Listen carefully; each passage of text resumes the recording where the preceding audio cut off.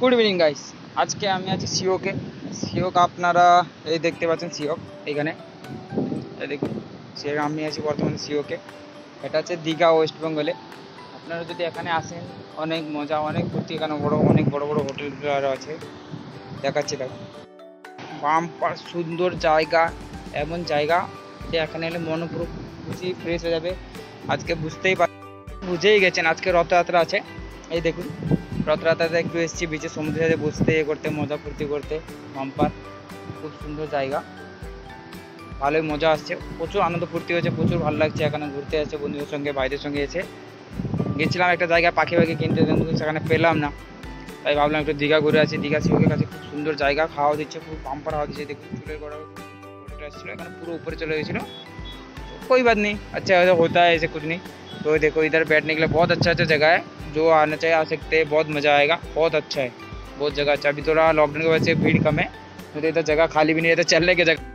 जो दीघा थे आस्ते चाँद तो कभी आप लोग दीघा में आएँगे क्यों जो आस्ते चाहे तो ये देख लेना इधर देखो। इतना बहुत बड़ा बड़ा होटल है, मैं दिखाता हूँ एक।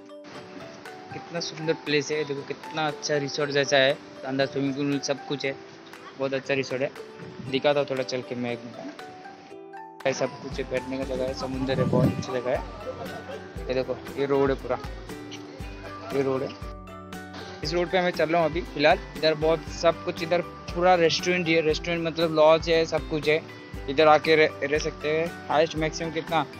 एक वन नाइट का फ़ैन का लेगा लगता है फाइव हंड्रेड तक। और एसी का तो वन थाउज़ेंड फाइव हंड्रेड तक लेगा। नहीं वन नाइट का ऐसे कुछ लेगा। अभी इधर उतना अच्छा लोग नहीं है। लॉकडाउन की वजह से कम है। और थोड़ा इधर थोड़ा कचरा वचरा ऐसे थोड़ा बिगड़ गया मतलब पानी पूरा समुद्र का समुद्र पूरा इधर अंदर तक आ गया था, इधर देखिए देखो पूरा इधर अंदर तक आ गया था, बाली वाली कैसे पड़ा है, देखो, रेत वेत वैसे पड़ा है। इधर इधर खुदाई बुदाई चल रहा है, सब कुछ है। अभी उतना ज़्यादा लोग नहीं है इधर थोड़ा नॉर्मल फ़िलहाल चल रहा है। पुलिस पुलिस आया था इधर नॉर्मली क्या प्रॉब्लम क्या मालूम। तो लोग पीना लोग मास्क के भी घूम सकते इधर ऐसे कुछ बात नहीं है। मैं खुद ही मास्क लाना भूल गया घर से। और इसलिए कि बिना मास्क से कोई बाहर नहीं मत जाना सब मास्क पहन के ही घूमना ठीक है? चलो भाई, आज के लिए इतना रखता है। फिर से वापस नया ब्लॉग लेके आएँगे दीघा में ही। फ़िलहाल गाँव में अभी वापस। इधर बॉम्बे में जाएँगे तो उधर मनाली जाएँगे तो उधर के ब्लॉग करेंगे। अब फ़िलहाल दीघा का पूरा आपको मैं घुमा के दिखाऊँगा एक बार। पूरा मार्केट वार्केट सब कुछ मेरा कोई मीट मार्केट में मीट मीट कुछ सामान वामान खरीदना रहेगा, दीघा घूम के आके चीप पड़ रहा अगर तो महँगा ही हैगा तो तो मेरे से कांटेक्ट करना, मेरे डिस्क्रिप्शन में मेरा नंबर दे देगा।